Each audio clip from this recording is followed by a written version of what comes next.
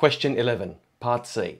Solve the inequality 4 over x plus 3 greater than or equal to 1.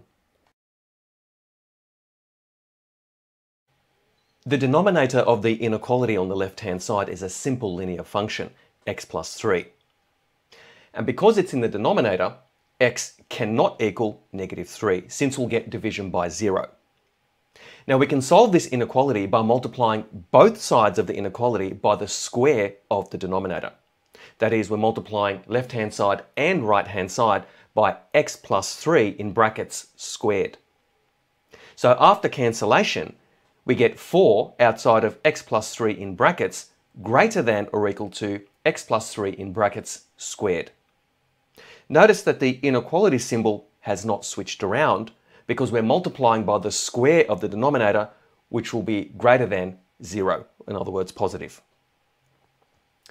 Expanding the brackets on both sides of the inequality, we get 4x plus 12 greater than or equal to x squared plus 6x plus 9.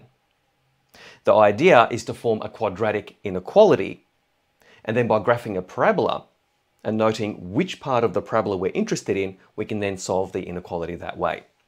So let's move the terms on the left-hand side over to the right-hand side. So we get 0 greater than or equal to x squared plus 2x minus 3, or x squared plus 2x minus 3 less than or equal to 0. Now x squared plus 2x minus 3 is a monic quadratic whose graph is a concave up parabola crossing the x-axis at negative 3 and positive 1.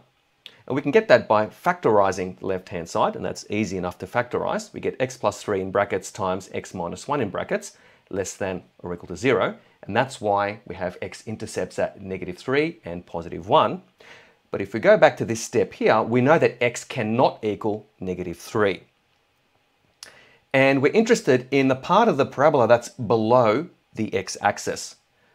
But in the case where x equals 1, we also accept the case where the parabola is at the x-axis or at the point where it crosses the x-axis. Therefore, the solution is x is greater than negative 3 and less than or equal to 1. Now showing that on a number line, we have an open circle above negative 3, a closed circle above 1, and we join the two circles together with a line.